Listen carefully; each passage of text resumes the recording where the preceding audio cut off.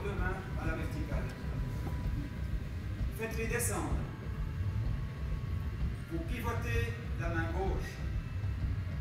Vous pivotez la main droite. Vous placez les deux mains l'une au-dessus de l'autre. Et là, vous exercez en même temps une poussée de la main gauche vers le haut et de la main droite vers le bas.